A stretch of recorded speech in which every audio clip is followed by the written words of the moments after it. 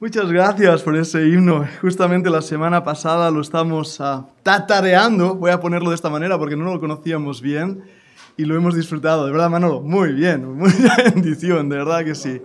Creo que hay, que hay escuela dominical para los peques hoy, así que los, uh, los niños que hay aquí podéis pasar a la parte de atrás. Muy bien, muy bien. Me he dado cuenta también que el equipo técnico ha hecho una panorámica del local mientras estábamos cantando. Y eh, los que estáis en YouTube, no os asustéis del aspecto que tiene nuestro local. Lo que veis aquí tapando los bancos no es realmente bancos tapados con un toldo, no es eso, es una montaña de Belén. Sí, bueno, es un poco de imaginación. Y el, el, el eh, Joel hoy no va disfrazado de Herodes, pero esta tarde sí. Muy bien. Y pondremos a un romano también. Muy bien, ¿hay algún pequeñajo más que deba ya ir para ahí? Creo que hoy estamos bien en cuanto a números. El domingo pasado eh, el local estaba ya rayando la capacidad de este tiempo y tenemos que seguir orando por eso. Gracias al Señor que nuestro local es largo y nos permite tener más personas de otros sitios, pero aún así tenemos que mantener la, la cantidad que el gobierno nos pide. Y después también os pido que por favor mantengamos las caretas iba a poner. Le llaman tapabocas en algunos lugares y no me gusta el nombre. Tampoco me gusta careta porque no tenemos una careta. Mascareta es como más caro, así que no me gustan las más. Un trapo. Mira, Manolo, lo has acertado. Un trapo. Un trapo. Mientras ya nos vamos preparando y los niños han pasado, quiero aprovechar ahora para saludar a algunos hermanos que nos están siguiendo incluso desde Uruguay, desde Paraguay, el hermano David también escuchaba ahí, la hermana Mari Carmen Ortega desde Logroño, la madre de Manolo Martínez. Un gozo siempre tenerla aquí entre nosotros. No quiero dejar a nadie porque hay un montón. Y por supuesto estaremos orando por Samara, su motivo de oración es importante y sobre todo que el Señor traiga paz cualquier cosita de bulto, cualquier dolor que tenemos a veces, sobre todo los que hemos pasado a través de, un cáncer, ¿verdad? Es como una espada de Democles que te da un pánico. Orad mucho por los enfermos. es difícil vivir con el dolor, es muy difícil tener que hacer la vida cotidiana cuando uno tiene fibromialgia o, como ah, la hermana Pili que nos compartía o la doctora Cami que ella sufre de una enfermedad complicadísima que le produce muchísimos dolores y de verdad, hermanos, tenemos que orar, tenemos que orar con todo nuestro corazón por estas personas que sufren. Un día estaremos delante del Señor, ya no habrá más sufrimiento. Gloria a Dios por ello, ¿verdad que sí? Y yo creo que no seremos tampoco viejitos. Eso es un tema teológico para... ¿Qué edad tendremos? ¿Lo habéis pensado alguna vez? ¿Tendremos canas? Una pregunta teológica para... bueno, voy a dejar de bromear. Vamos a abrir la Biblia, vamos a estar estudiando hoy algo precioso es un personaje que de verdad inunda mi corazón de gozo cada vez que lo leo en las escrituras. No se dice mucho de él, no se dice mucho de él, aunque la historia ha dicho muchísimo de él, mejor dicho, de ella. Pero cuando leemos las escrituras solamente aparece en pasajes como Mateo capítulo 1 y 2, en capítulo 12, versículo 46, en Lucas capítulo 1 y 2. También en Juan capítulo 2, versículo 1 al 11 aparece una historia donde ella se vio involucrada en esa historia. En Juan capítulo 19, versículo 25, la encontramos de nuevo en la escena bíblica, esta vez con lágrimas en sus ojos. Y por último en Hechos 1.14, la última mención de este personaje bíblico en las escrituras. Y después desaparece en la Biblia y desaparece en la historia para ya no saber más de ella, sino es solamente a través de la tradición. ¿Sabéis de quién me refiero? Me refiero a Miriam, cuyo nombre en latín fue María, la madre de Jesús. Hemos hecho una pequeña serie de mensajes donde vamos a ver o hemos visto ya los personajes de la Navidad, los héroes de la Navidad, que no son Papá y Noel y los tres reyes magos, sino José, María y sobre todo el Señor Jesucristo. Y por eso hoy una vez más nos acercamos a un nuevo personaje de la Escritura, y pido al Señor que sea de muchísima bendición. Vamos al trono de gracia para orar. Padre, sé que tú has prometido que tú vas a bendecir tu palabra. Y Señor, yo sé que soy un siervo. Yo soy la voz de uno que clama en el desierto, por así decirlo. No hay ni poder ni gloria en mí. Y Señor, si hay algo que pueda decir o algo de bueno que bendiga a la audiencia, es plenamente tu Santo Espíritu que lo ha hecho. Y por eso, Padre, hoy vengo a ti con la confianza, la seguridad de tu promesa, que tu palabra cumplirá el propósito para la cual ha sido enviada. Y te pido que yo no sea de estorbo. Te pido que me anules, que seas tú, Señor, quien hable a los corazones y a las vidas de los que están aquí en este local, los que están siguiéndonos en YouTube o quienes quiera que más tarde escuche este mensaje. Padre, dame poder de lo alto. Dame que mis labios glorifiquen hoy tu nombre. Te lo pido, Padre amado, en el nombre del Señor Jesucristo. Amén. Os invito a abrir las escrituras, vamos al pasaje de Lucas capítulo 1 para descubrir allí mucho más de este precioso personaje María quiero decir el por qué estamos estudiando también personajes bíblicos. Y para mí es un estudio que siempre me ha apasionado mirar el carácter de los personajes bíblicos. Porque cuando uno estudia los perfiles de comportamiento, qué hacían, cómo lo hacían, qué decían o qué no decían, descubrimos rápidamente fuente de inspiración para nosotros mismos. Y tenemos que ver que tenemos que tener en nuestra vida referentes a imitar. Tenemos que tener en nuestras vidas personas que han vivido antes que nosotros y han pasado situaciones semejantes a las nuestras. Cómo ellos actuaron y cómo Dios les bendijo, o cómo ellos actuaron neciamente y cómo Dios tuvo que tratar con ellos. Por eso es tan bueno el estudio de los personajes bíblicos. Y cuando nos acercamos a estos personajes bíblicos, quiero decir que descubrimos muy pronto que Dios premia la humildad, Dios premia el servicio, Dios premia la ternura, Dios premia el carácter espiritual, donde el fruto del Espíritu se manifiesta. En contraposición, el mundo de hoy en día premia la prepotencia, premia el orgullo, premia la, fortaleza, si es que es fortaleza, y el carácter piadoso está siendo menospreciado, despreciado, rechazado y ridiculizado. Pero hermanos, tenemos como creyentes que poner nuestra mira no en los héroes de los cines de Hollywood, no en la chica guay que aparece en las películas de Hollywood, no tenemos que poner nuestros ojos en los libros que hablan de cómo ser un excelente entrepreneur o como lo dicen, un, un influencer, ¿verdad? Con la copa de champán y el yate detrás. Esa es la imagen que el mundo quiere vender. Pero hoy vamos a descubrir una mujer de su tiempo, de su siglo, de su ambiente, que influenció al mundo tal vez más que ninguna otra mujer. Y sin embargo fue una mujer piadosa. Vamos a leerlo en la escritura. Os invito a que abráis la Biblia ahí en capítulo 1 del libro de Lucas y vamos a leer desde el versículo 26, Lucas 1, capítulo 26, 1, versículo 26. Dice así la palabra del Señor. Al sexto mes el ángel Gabriel fue enviado por Dios a una ciudad de Galilea llamada Nazaret, a una virgen desposada con un varón que se llamaba José de la casa de David. El nombre de la virgen era María. Entrando el ángel en donde ella estaba, dijo, salve, muy favorecida el Señor es contigo, bendita tú entre las mujeres.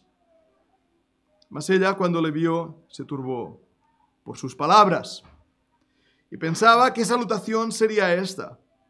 Entonces el ángel le dijo a María, no temas, porque has hallado gracia delante de Dios, y ahora concebirás en tu vientre, y darás a luz un hijo, y llamarás su nombre Jesús este será grande y será llamado Hijo del Altísimo.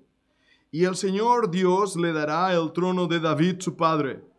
Y reinará sobre la casa de Jacob para siempre. Y su reino no tendrá fin. Entonces María dijo al ángel, ¿cómo será esto? Pues no conozco varón.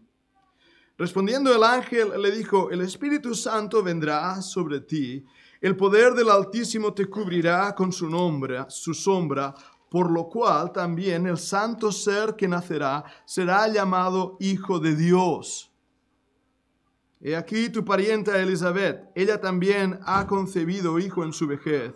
Y este es el sexto mes para ella, la que se llamaba estéril, porque nada hay imposible para Dios. Entonces María dijo, he aquí la sierva del Señor, hágase conmigo conforme a tu palabra. Y el ángel se fue de su presencia. En aquellos días, levantándose María, fue deprisa a la montaña, a una ciudad de Judá, y entró en casa de Zacarías y saludó a Elizabeth. Y aconteció que cuando oyó Elizabeth la salutación de María, la criatura, este era Juan el Bautista, dentro de su vientre de Elizabeth, la criatura saltó en su vientre y Elizabeth fue llena del Espíritu Santo. Y exclamó a gran voz y dijo, bendita tú entre las mujeres y bendito el fruto de tu vientre. ¿Por qué se me concede esto a mí, que la madre de mi Señor venga a mí?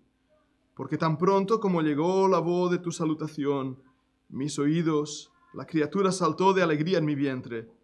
Bienaventurada la que creyó, porque se cumplirá lo que le fue dicho de parte del Señor. Vamos a leer hasta esa porción ahora mismo. Dios bendiga su palabra. Miriam, Miriam, escogida entre la multitud de mujeres que esperaban ardientemente, con esperanza, la revelación del Mesías que había sido prometido a Israel, el Goel, el Redentor. En aquel entonces, en aquel tiempo, nos dicen también los recursos históricos que había una gran expectación por la venida del Mesías esperado. Algunas fuentes se habían levantado en lucha contra el imperio romano. Josefo, el historiador romano, nos habla de esta situación de espera, de convulsión, de anticipación.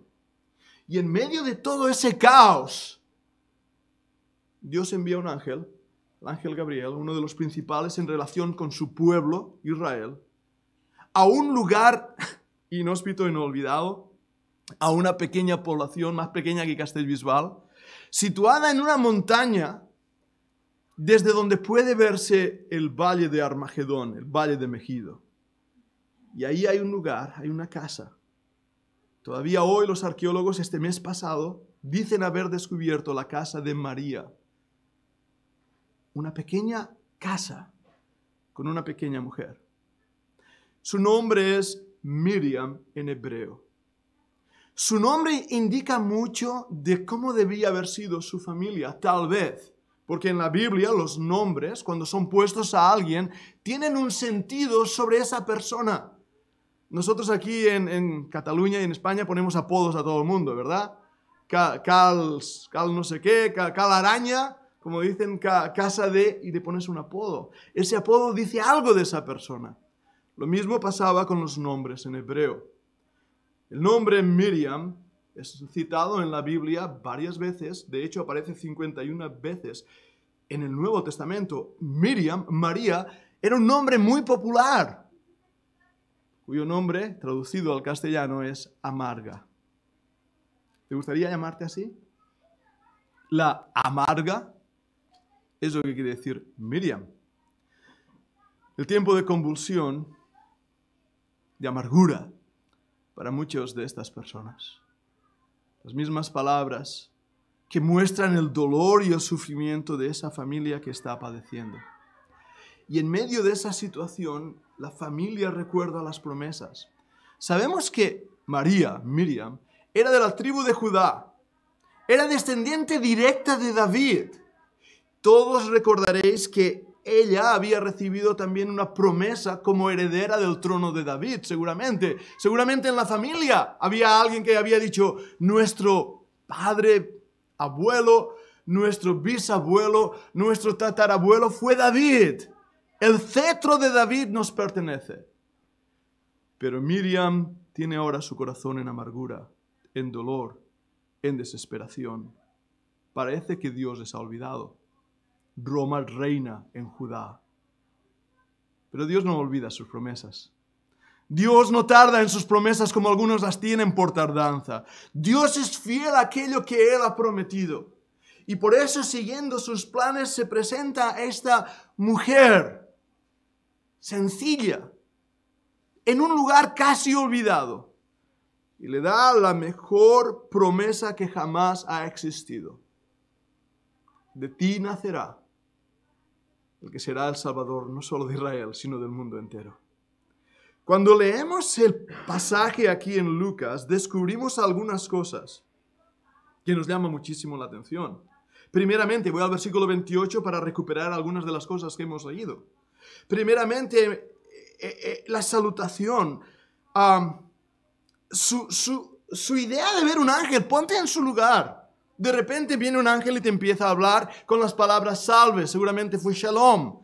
Recordad que la Biblia fue escrita en griego en el Nuevo Testamento, pero Miriam hablaba arameo y hebreo.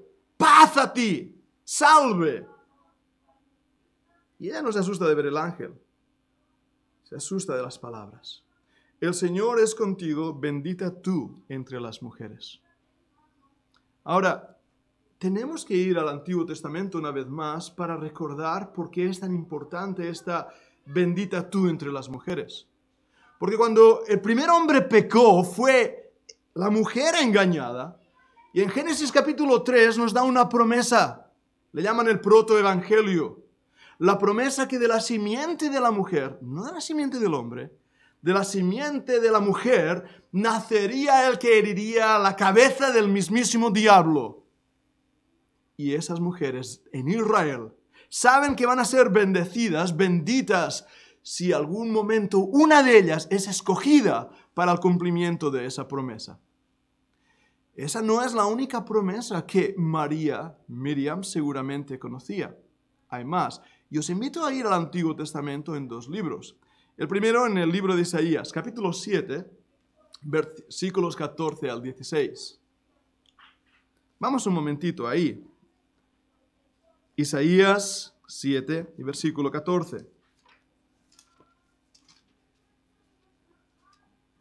Fijaros lo que dice en Isaías 14, eh, digo 7, versículo 14. Por tanto, el Señor mismo os dará señal. He aquí que la Virgen concebirá y dará a luz un hijo, y se llamará su nombre Emmanuel esa palabra, Emmanuel, quiere decir con nosotros Dios. El nombre dado a este niño que iba a nacer tenía que ver con una promesa extraordinaria. Vamos a ver el versículo 15. Comerá mantequilla y miel hasta que sepa desechar lo malo y escoger lo bueno. Porque antes que el niño sepa desechar lo malo y escoger lo bueno, la tierra de los dos reyes que tú temes será abandonada. Ah, es un pasaje interesante. Y es un pasaje interesante porque en el contexto que aparece es un contexto histórico muy similar al que está viviendo María en el Nuevo Testamento. El enemigo, los asirios, han atacado a Israel. Hay una situación de amargura en la nación. Y en medio de la oscuridad y de las tinieblas más densas, Dios envía a su siervo Isaías con una promesa la virgen, una doncella, la palabra Adama en hebreo implica una joven muchacha, va a tener un hijo. Y antes que este hijo sepa discernir el bien y el mal, sepa hablar, cuando apenas tiene uno o dos años, Dios va a juzgar y a libertar a Israel. A partir de este momento en adelante, en el libro de Isaías, hay un gran bloque que habla del libro de Manuel. Más adelante leemos cómo Isaías se acerca a la profetisa, tuvieron un niño y le pusieron un nombre. Ahora, esto es el contexto histórico en el libro de Isaías. Tenéis que daros cuenta que muchas de las profecías en la escritura tienen un, un acomplimiento profético inmediato y un cumplimiento profético futuro. Es lo que pasa en el Antiguo Testamento. Cuando leemos este pasaje, en el contexto histórico que he leído, lo podemos interpretar así. Pero este pasaje es recuperado en el Antiguo Testamento para enseñarnos la profundidad de lo que aquí está diciendo. Porque el nombre del niño será Emmanuel. Dios con nosotros. Y este niño va a nacer de una virgen. Y cuando llegamos al Nuevo Testamento, la palabra empleada ya no es alama, como sería en hebreo, joven doncella, joven muchacha, sino a Parcenos, alguien que no ha conocido varón. Vamos a un pasaje más adelante, en el capítulo 9 y versículo 6. Isaías 9:6. Dice así la palabra del Señor, un pasaje que los niños aprenden en Navidad, y seguro algunos lo citaríais de memoria, en Isaías 9, versículos 6 y 7. Porque un niño nos es nacido, hijo nos es dado. El principado sobre su hombro, y se llamará su nombre admirable, consejero, Dios fuerte, Padre eterno, príncipe de paz. Lo dilatado de su imperio y la paz no tendrán límite. Sobre el trono de David y sobre su reino, disponiéndolo y confirmándolo el juicio y en justicia desde ahora para siempre. El celo de Jehová de los ejércitos hará esto. Ahora este pasaje, hermanos, es, es precioso. Y nos muestra que las palabras del capítulo 7 no iban referidas solamente a que Isaías iba a tener un niño con su esposa, sino que iban mucho más allá. Apuntaban a un día donde una virgen, una joven que esperará la libertad y las promesas de Dios, va a concebir un hijo siendo virgen. Y aquí en el versículo 6 nos da unas características de ese niño con su nombre, Emmanuel, que quiere decir con nosotros Dios. Pero mira el versículo 6. Hijo nos es dado. ¿Por qué esas palabras tan extrañas? Un niño nos es nacido, hijo nos es dado. Oh, amado mío, que escuchas, déjame responderte a esa pregunta. El Hijo de Dios que fue hijo desde antes de la creación del mundo, en una eterna relación entre el Padre y el Hijo, siendo el mismo Dios y único. No adoramos a una trilogía de dioses. Esto no es la trilogía de la guerra de las galaxias. Es el mismo Dios soberano, el eterno, el El Olam. Siendo Padre es Hijo y es Espíritu. Y los tres, siendo tres personas, concuerdan en un santo y bendito ser, el Dios Todopoderoso. Él, siendo padre y siendo hijo, fue entregado. El hijo fue entregado. Y por eso dice aquí, hijo nos es dado. Mirad el juego de palabras y sigamos leyendo. El principado sobre su hombro. El principado. Las promesas dadas al rey David se cumplían en él y se llamará su nombre. Y este es el nombre. Admirable. No hay otro como Él. Él es admirable. Él es digno de toda admiración.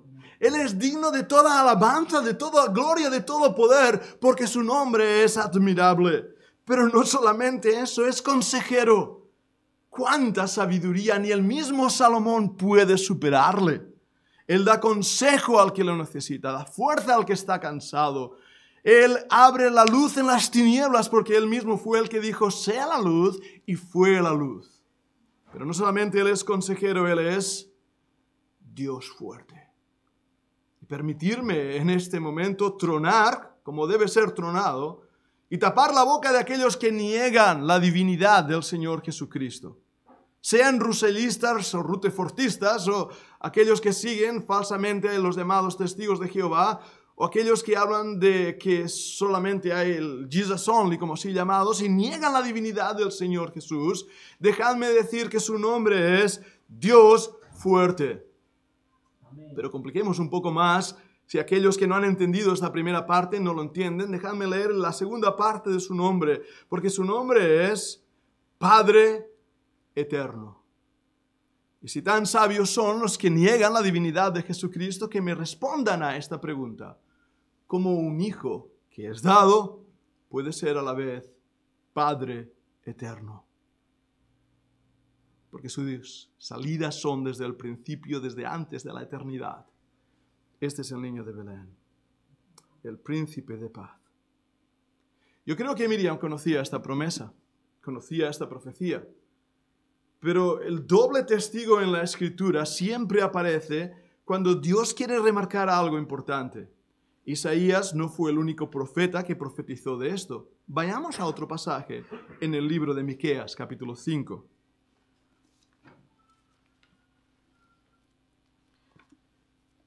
En Miqueas capítulo 5 y leeremos los versículos 2 y 3. Hemos visto la profecía de Isaías diciendo que una virgen iba a concebir a Dios mismo en su vientre.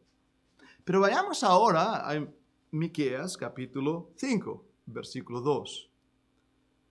Pero tú, Belén, Efrata, de la tierra del norte, se puede traducir pequeña para estar entre las familias de Judá. De ti me saldrá el que será Señor en Israel. Y sus salidas son desde el principio, desde los días de la eternidad. Pero los dejará hasta el tiempo de que dé a luz la que ha de dar a luz, y el resto de sus hermanos se volverán con los hijos de Israel. Tú, Belén, Efrata, Miriam vivía en Nazaret. Belén es una aldea lejos de ese lugar. Pero Dios en su soberanía, en su providencia, cumplió esta promesa, haciendo que aquel santo ser, hijo de María, naciera en una población pequeña, Belén. ¿Cuántas posibilidades hay que una mujer, una mujer, ya no digo joven o mayor, pero una mujer, concibiera un niño en Belén, siendo de la familia de Judá, de la descendencia de David, ¿cuántas posibilidades hay que ese niño recibiera las promesas y bendiciones dadas en el Antiguo Testamento?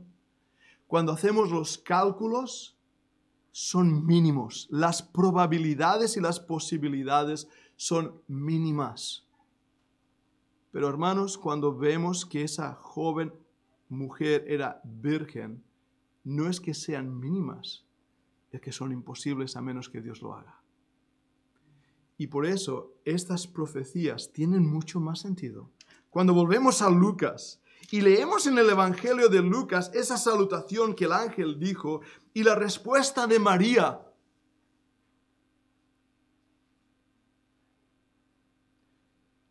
ella respondió a la fe que tenía en las promesas del Antiguo Testamento.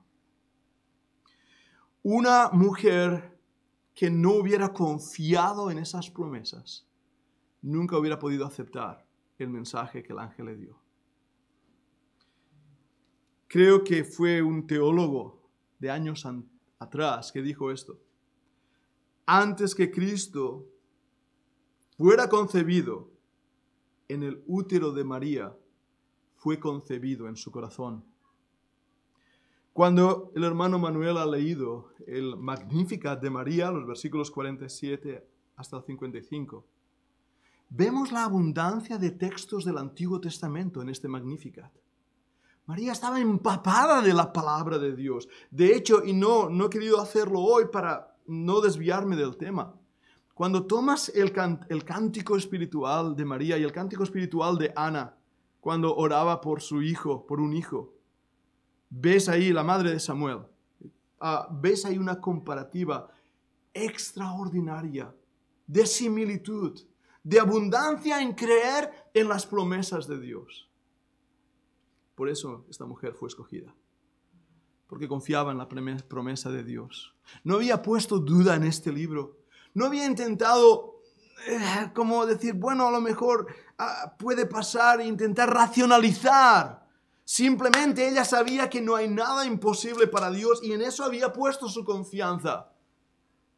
Pero hermanos, hoy en día estamos viviendo en días donde las mismas iglesias evangélicas se pone en duda las promesas de Dios, se pone en duda que María fue virgen, se pone en duda que el nacimiento virginal fue posible se pone en duda cualquier cosa que la Biblia dice. Escuchaba ayer mismo a un predicador conocido con miles de seguidores que no podemos creer en la literalidad de la escritura. Entonces, si no podemos creer en la literalidad de la escritura, ¿en qué podemos creer? ¿En la tontería que dicen los hombres? La neoortodoxia, Karl Barth a su cabeza, Tillich, Bullman, Hombres que predicaban en púlpitos luteranos, en púlpitos protestantes, negaban el nacimiento virginal de nuestro amado Señor Jesucristo, poniendo vergüenza sobre María. Pero la palabra del Señor es fiel. Dios, en su gracia, escogió una mujer humilde, una mujer que ella misma no entendía cómo ella había sido escogida no lo entendía. Y cuando yo leo esto, lo primero que ella razona, y por favor, no es una pregunta de incredulidad. Entonces, versículo 34, entonces María dijo al ángel, ¿cómo será esto? Porque no conozco varón. No es una pregunta de, incredulidad. Ella no dijo, esto es imposible, no conozco varón. Dijo, Señor, ¿cómo vas a hacerlo? ¿Le has preguntado eso a Dios alguna vez? Señor, sé que vas a hacerlo, no sé cómo vas a hacerlo, porque esto es imposible. Y esa es la manera en que Miriam preguntó al Señor, Señor, ¿cómo vas a hacerlo? ¿Confío en tus promesas? ¿Confío en lo que me dijiste en el Antiguo Testamento? Sé que tú ibas a cumplir esto, pero Señor, ¿cómo vas a hacerlo? Porque no conozco varón. Y yo sé que estoy hablando a adultos también. Eso implicaba más que ella era virgen ella no había tenido, voy a emplear una palabra muy técnica, y lo vais a entender, ella no había tenido coito. Esa palabra viene de un término griego, koinonia, que quiere decir comunión. Por eso en el Antiguo Testamento dice, conoció a Adán, a su esposa, Eva, y tuvieron un hijo. Y cuando yo leía eso y era niño, pensaba, ¡ay Señor, qué raro! ¿Es que no se conocían? ¿Adán no conocía a Eva? ¿Por qué dice, conoció a Adán a Eva? Bueno, lo dice porque es eso lo que está diciendo en el original, no habían tenido coito. Y ella decía, Señor, ¿cómo va a ser esto? ¿Cómo, vas a hacerlo? Y no había incredulidad, había expectación, había admiración, porque cuando uno ve que no hay nada imposible para Dios, lo que uno tiene es admiración a pensar, Señor, ¿cómo lo harás? No sé cómo lo harás, pero sé que puedes hacerlo. Y una de las cosas que ah, veo en el carácter de María y que yo quiero imitar y que yo quiero seguir. Es el entendimiento que no hay nada imposible para Dios, el versículo 37, porque nada hay imposible para Dios. La seguridad de confiar en las promesas que Dios nos ha dado. Hermanos míos, amados míos, las promesas de Dios están siendo puestas en duda. En duda. Las promesas que fueron dadas a Israel de que de la simiente de David se levantaría el Salvador del mundo, Jesús aquí mencionado, están siendo puestas en duda. Israel ha sido menospreciado, puesto a un lado. Aún entre las iglesias evangélicas se ha producido un alto rendimiento del antisemitismo, porque la iglesia ha dejado de creer en las promesas que Dios dio a Israel. Pero hermanos, las iglesias han dejado de creer en las promesas que Dios ha dado a su misma iglesia. Como la preciosa promesa del rapto. Dios va a librarnos de la ira que ha de venir a todo el mundo. Pero más y más hay iglesias que han dejado de creer esto. Miles de creyentes están siendo engañados en una generación como la que vivió Miriam, donde eran pocos los que esperaban la libertad de Israel Pocos los que esperaban la promesa dada a Isaías. Pocos. Y la incredulidad había bañado el corazón de la mayoría de los, de los judíos.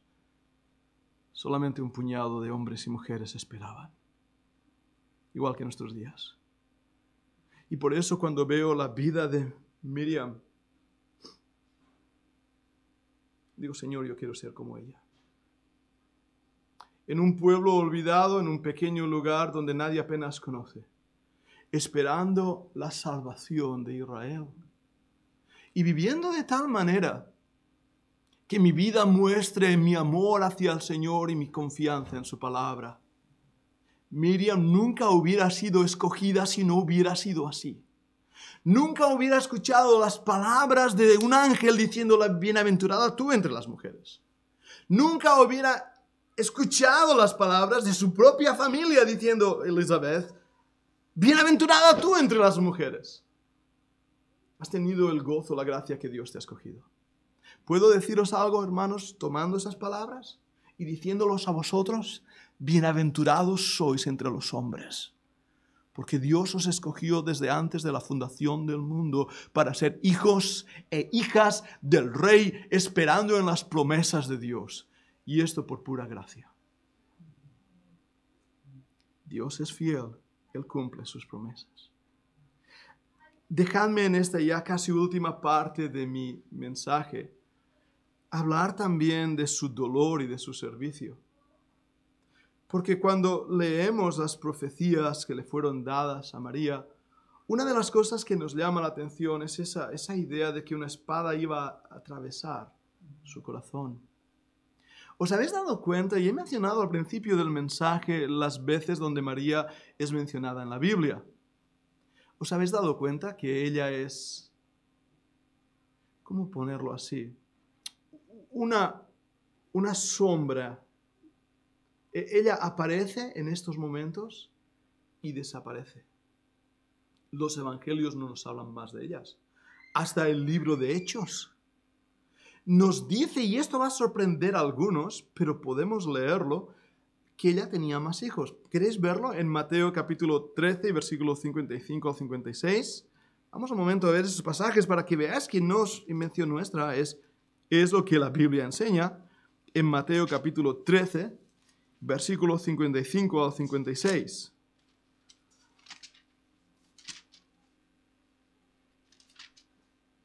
Mira lo que dice hablando, uh, atacando al mismo Señor Jesucristo, no están todos sus hermanas, perdonadme, dejadme leer desde el 55, está en el 56. Uh, voy a leer desde el 53, así entraré en contexto. Aconteció que cuando terminó Jesús estas parábolas, se fue de allí y venido a su tierra, Nazaret, les enseñaba en la sinagoga de ellos, de tal manera que se maravillaban y decían, ¿de dónde tiene esta este, esta sabiduría, estos milagros. Mira el versículo 55. ¿No es este el hijo del carpintero?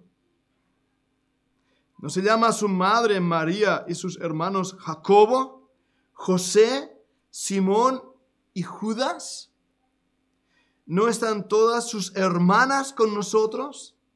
¿De dónde pues tiene éste todas estas cosas? Y se escandalizaban de él. Pero Jesús les dijo, no hay profeta sin honra, sino en su propia tierra y en su casa. Y vayamos a otro pasaje para que veáis lo que dice la Biblia. Hemos leído en Mateo 13, vamos a Marcos 6.3. En Marcos capítulo 6, versículo 3. ¿No es este el carpintero, hijo de María, hermano de Jacobo, de José, de Judas y de Simón? ¿No están también aquí con nosotros sus hermanas? Y se escandalizaban de él. María tuvo hijos con José. Cuando hablé con, de José en mi último mensaje, hablamos de él, decíamos lo que dice la tradición católica, ¿verdad? Que, que José era un hombre viudo, que tenía una mujer y había tenido estos hijos con ella. Y mostramos apologéticamente la tontería de este pensamiento, la incongruencia de este pensamiento. Además, la Biblia dice que no conoció hasta qué, después de haber concebido al Señor Jesús. Estos eran hermanos de Jesús, hijos de María y de José. María fue una mujer sierva, una mujer sierva. ¿Puedes imaginarte? No sé cuántos hijos hemos contado. Jacobo, José, Judas, Simón, hermanas y Jesús, ¿qué tenía? ¿Siete? ¿Ocho? ¿Diez hijos? No lo sé. ¿Cuántos mocos debió limpiar? ¿Cuántos pañales debió cambiar? Y siempre en un segundo plano. Nunca ella fue quien llamó la atención a sí misma. De hecho, en su Magnificat, e-, ese, ese precioso pasaje que hemos leído, cuando, cuando se menciona tanto, ¿verdad? El Magnificat de María. Pero mira lo que ella misma dice de sí misma. En capítulo 2, 1, perdonadme, de Lucas. Mira lo que dice el versículo 45. Bienaventurada la que creyó porque se cumplió lo que le fue dicho de parte del Señor. Entonces María dijo, engrandece mi alma al Señor, mi espíritu se regocija en Dios, mi Salvador. María era consciente que necesitaba un Salvador. No hay tal cosa como la perpetua virginidad de María, como enseña la Iglesia Católica, porque la Biblia dijo que tuvo hermanos. Y esta palabra es bien clara, la palabra hermano en griego quiere decir nacido del mismo vientre.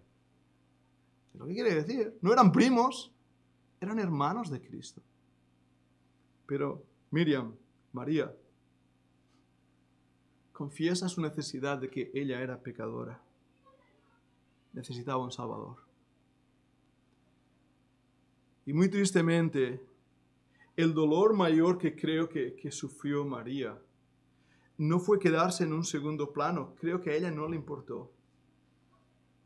Este es mi hijo, hace todo lo que los diga. Eso es lo que María dijo. María fue, apuntó a Cristo en las bodas de Canaán. Y a mi hijo, hace todo lo que él os diga. Yo no soy nadie. ¿Quién soy yo? María desaparece en la historia de la Biblia. Entonces, ¿por qué ha sido tan engrandecida? Vayamos ya en mi último punto del mensaje a un recorrido histórico a la ciudad de Éfeso. El tiempo que estamos viviendo ya es el 400 y poco de la era cristiana. Hay un creciente posición que está negando que Cristo es Dios. Las herejías gnósticas están invadiendo la iglesia. Los arrianos han discutido ya sobre la deidad del Señor Jesucristo. Y en el concilio de Éfeso la iglesia llega a una conclusión importante. María fue la madre de Dios. Ahora, esas palabras llaman la atención. En teología se le conoce como la discursión Theotokos. Y hay otra palabra, Theocristus. ¿Fue María la madre de Dios o fue la María la madre de Cristo? Y la discusión en ese punto se está refiriendo a que el niño que nació, el santo ser, era Dios mismo. Era Dios mismo. Y los hermanos en Éfeso, en ese concilio, están intentando defender esa realidad, que el niño que nació de María era Dios mismo. Pero muy tristemente se adapta ese término, la madre de Dios y a partir de ese momento en adelante, lo que hay en el concepto de la tradición cristiana, y especialmente el catolicismo, es que María es la Madre de Dios, haciendo de María alguien más grande que Dios mismo. Y robando la, la imagen, la misma imagen de Artemisa, de las diosas paganas griegas, romanas, de Mitraya, las dioses de India, de cantidad de diosas babilonias. María es representada no como una mujer humilde, piadosa, que confía en el Antiguo Testamento, que confía en las promesas de Dios. Ahora María, a través de la historia de la cristiandad, es competitiva con las mismas diosas del Olimpo griego, las Amazonas, una, una mujer poderosa que tiene el mundo en su mano, una mujer rodeada de estrellas, curioso esto, ¿verdad? Y la misma imagen que se nos da de esta mujer ya es corredentora con Cristo. ¿Qué quiere decir corredentora? Que ella está a la misma altura que Jesucristo en cuanto a la redención. Se nos habla de la perpetua virginidad de María. Se nos habla incluso del nacimiento virginal de María. No sé si sabíais esto. Su mamá se llamaba Ana, su papá se llamaba Joaquín. Se dieron un abrazo y ¡puf! Salió María. Solo fue un abrazo, ¿de acuerdo? Y así es como la Iglesia Católica enseña esta también ah, nacimiento de María, porque claro, ella no podía ser pecadora.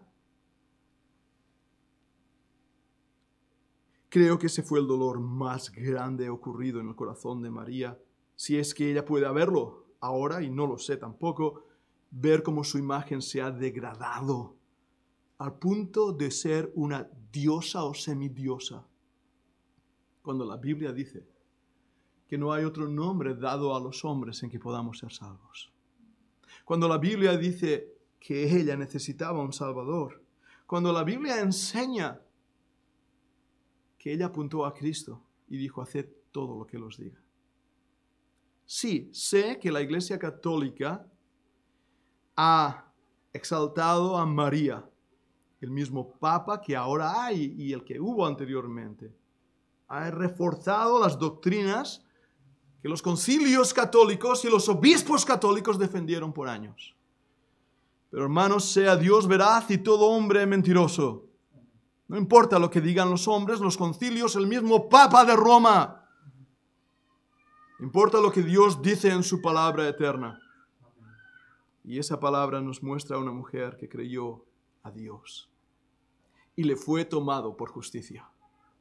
Porque su fe estuvo puesta en las promesas dadas por un Dios inmutable, un Dios que no puede cambiar. Y tuvo en sus manos a un bebé, lo envolvió en pañales, lo puso en un pesebre humilde y 33 años más tarde tomó a ese bebé sus brazos muerto. El varón Jesús, Yeshua en hebreo. No sé si ella fue una de las que ayudó a embalsamar su cuerpo y a poner ese cuerpo en una tumba fría, funesta. Puedo imaginar a esa mujer, madre de Jesús. Es lo que dice la Biblia, no madre de Dios. Cada vez que aparece y habla de ella, la madre de Jesús. No está aquí su padre, no es este el hijo del carpintero, no es este Jesús nazareno. Y como madre puedo imaginar las lágrimas corriendo por sus mejillas. El dolor de una madre. Pero cuando vemos a este Jesús coronado de gloria, levantado de entre los muertos y de esta manera proclamado Hijo de Dios, vemos a María junto a los demás. Y puedo imaginarla con una gran sonrisa en sus labios diciendo, ¿cómo ha podido ser esto? ¿Cómo ha podido ser esto? Porque no hay nada imposible para Dios. La pregunta pues que debo hacerte hoy al concluir este mensaje, ¿has creído en el Hijo de María? ¿Has creído que Él es Jesús, el Salvador del mundo? ¿Le has pedido a Él que nazca en tu corazón, que perdone tus pecados, que te dé vida? Y si lo has hecho, y espero que sí, ¿a quién sigues hoy? a los cometas que aparecen en la noche oscura del firmamento y desaparecen en un clic de dedos, a los influencers, a los poderosos de este mundo, a los ricos, aquellos que creen que el dinero da respuesta a todo. O como Miriam, sigues un Dios que cumple sus promesas, aún en la noche más oscura. Vamos a orar. Señor amado, toma este mensaje. Haznos ver a María, la Madre de Jesús, como una de nuestras hermanas en la fe, que vivió para cumplir el propósito para la cual tú la escogiste, pero que la gloria, la gracia y el poder no estaba en ella, sino solamente en ti. Ayúdanos a que esto crezca en nosotros un amor genuino hacia ti y toca el corazón y las vidas de aquellos que escuchen tu palabra. Lo pedimos en el nombre de Cristo. Amén. Gracias, amados hermanos. Hermano Manuel.